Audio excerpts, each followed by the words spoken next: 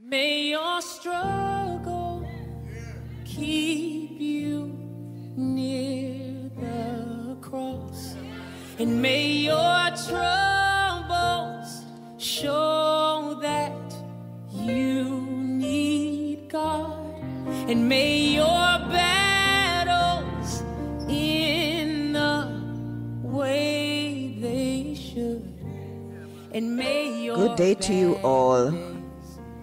We are so blessed to join another day, sharing our lesson for today praying down walls. Let us pray. Father in heaven, we are so happy, we are so thankful for the opportunity to meet in this fashion, to review your words, and to be encouraged by the nuggets that we shall find in it. Father, we pray that whatever lessons are learned, we will apply them to our lives so that we can be closer drawn to you and have a greater and deeper understanding of who you are. We give you thanks in Jesus' name. Amen. So let's jump straight into it. Praying down walls. Hmm. There's an expression in English to be painted into a corner. Imagine painting the floor of a room, but realizing that you wound up in a corner and cannot get out except by walking over the fresh paint. You have to stay there until it dries. And in construction, it really shows that you are not thinking about the process if you paint yourself into a corner. Mm-hmm. Okay?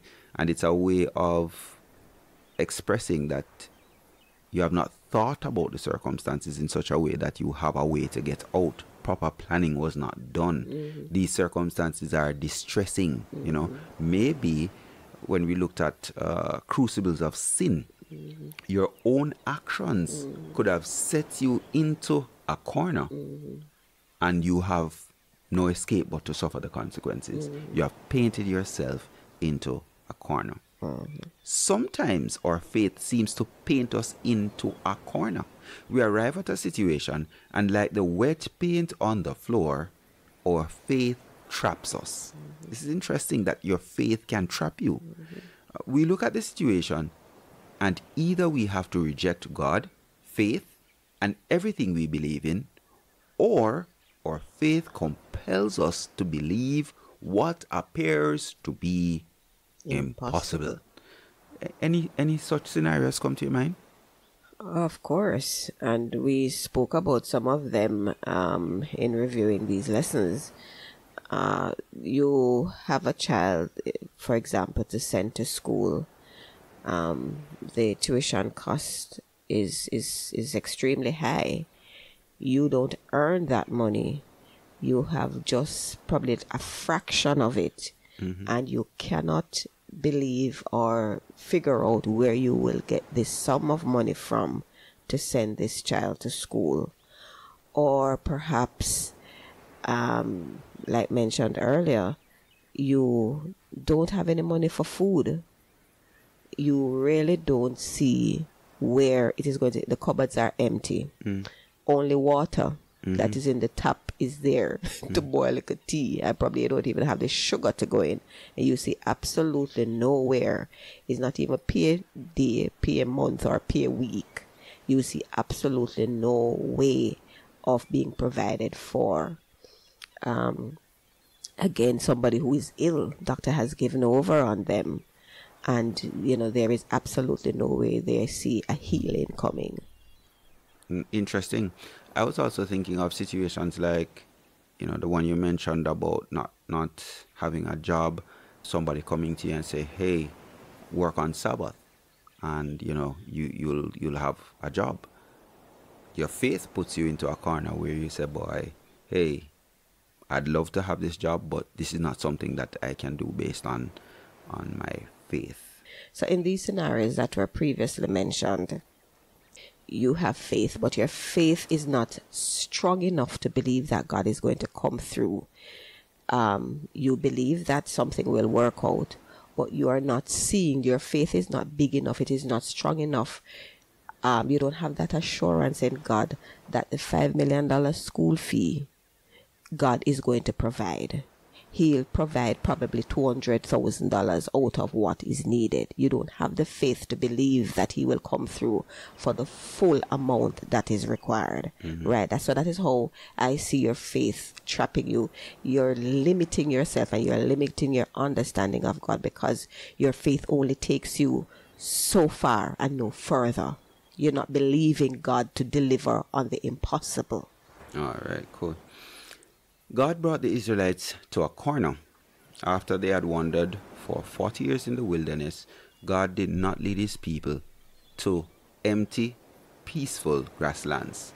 God led them to one of the most strongly fortified cities in the whole area.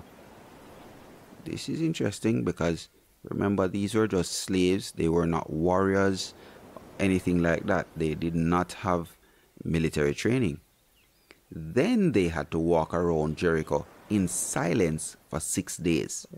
On the seventh day, God told them to shout, and that shouting together with the trumpets would bring victory. From a military point of view, how does this even make sense? It You does- shouting, you shouting outside going to bring walls down? No, not on my own. Okay, and you you know that there there are some people who believe that uh, the constant pounding of the the um, soldiers as they marched around Israel loosened the um, boulders in the wall, and that constant vibration day after day did this and whatever. Limiting the power of I, God. I I don't think so. Yeah. All right. So, um, Joshua, um, five verses, chapter five, verses thirteen to six verse twenty, kind of gives us the backdrop here. Okay, that's where the story is is um based. It says, question: What is God trying to teach the Israelites in this particular setup? So we know that from a physics point of view, this not going to work. So what is he teaching them? that they can't rely on their own strength to do Mm. anything. They Mm-hmm. have to rely on God's intervention. It is only through God that they can accomplish anything at all. Hmm. It says here, shouting loudly was not going to cause vibrations to trigger the wall to collapse.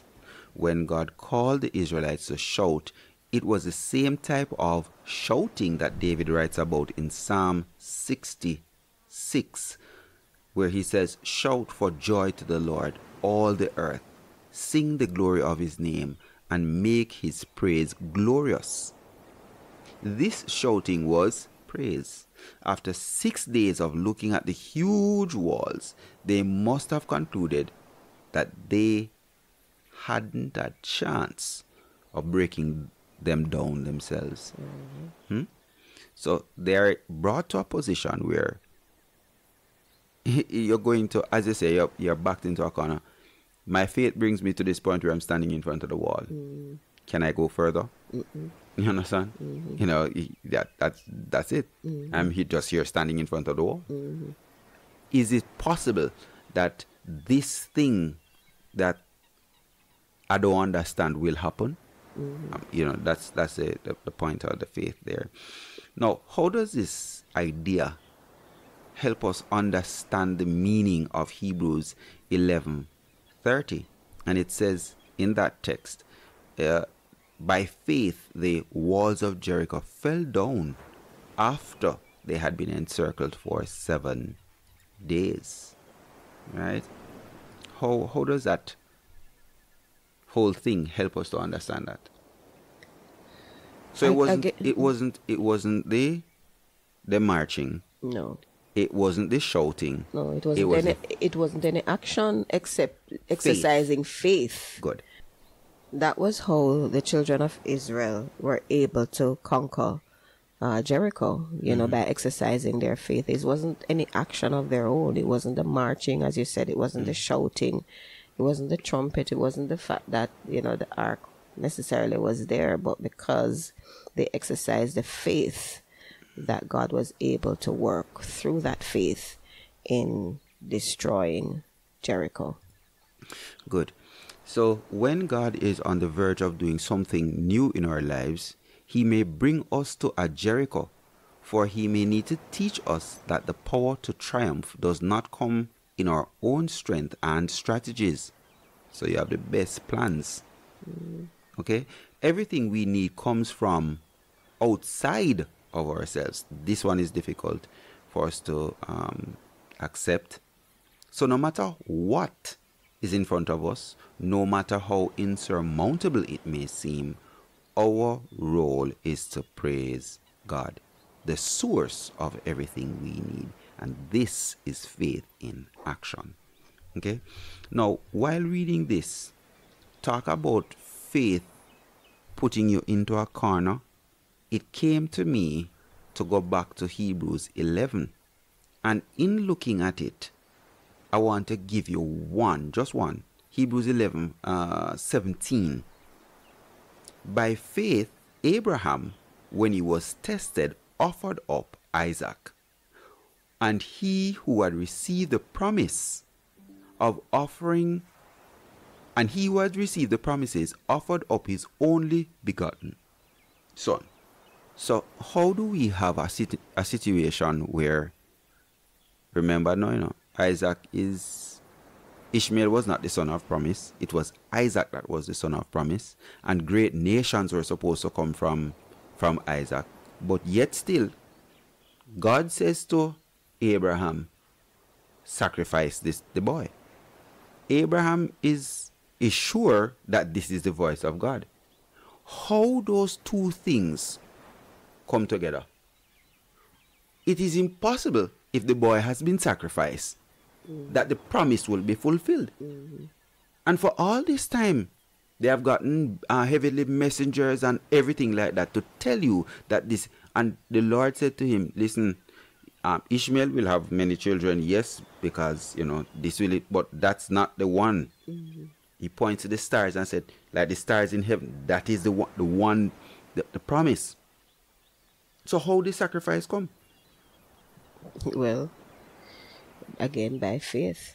So it- so so um Abraham, regardless of whatever was was happening now, he believed that God would still fulfill the promise. Watch God this. would make a way somehow. Good. Let's let's look at the way. Let's look at the way.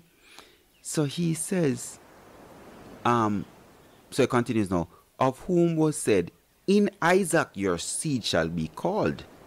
Now listen to verse 19, concluding that God was able to raise him up from the dead, mm. from which he also received him in a figurative sense. So we like to think that resurrection is mm. something in the New Testament. Mm-hmm. Not so. Mm-hmm. We have this that people then believed that God could have raised um, people from the dead, and we see it in in uh, the story of I think Elisha um, there as well, right? But here it points to the idea that hey, even if I do this, God still has the power. The, the person who said, Let there be light, the person who created all the living things, would have had the power to reanimate, mm-hmm. to call back to life the son which had been sacrificed. Mm-hmm. That that's a, that to me is a strong one, Selena. Mm-hmm. Because in in your uh, earthly you know, science and all of I guess too it goes back to a text that says the things of this world are foolishness to to God. Right? And what makes sense here does not translate into anything meaningful um, to the divine Well, you know how I see it is is that you you really have to have that relationship with God and know who God really is. So for Abraham, he knew the power of God. He knew God not just by hearing about him. He had an experiential relationship with God and and therefore he was able to exercise that faith that even if his son Isaac was taken from him at that moment, God would have wrought some miracle. God would have done something to um, allow that promise to be fulfilled. all right just uh little bit now of our Ellen White notes. And it says here at the end the 66th Psalm and portions of the 68th and 72nd Psalm were often sung by Christ. Thus, in the most simple and unassuming way, he taught others. Would it not be well to cultivate gratitude and to offer grateful songs of thanksgiving to God? As Christians, we ought to praise God more than we do. We ought to bring more of the brightness of His love into our lives. As by faith we look to Jesus, His joy and peace are reflected from the countenances. How earnestly we should seek so to relate ourselves to God that our faces may reflect the sunshine of His love. When our own souls are vivified by the Holy Spirit, we can exert an uplifting influence upon others who know not the joy of Christ's presence. And this is taken from Ellen G. White's comments in the SDA Bible Commentary, Volume 3, page 1148. So, again, that takes us to the end of our lesson for today. Remember, as we go through today, as we go through our week, let us approach life, let us approach the day with songs of praise.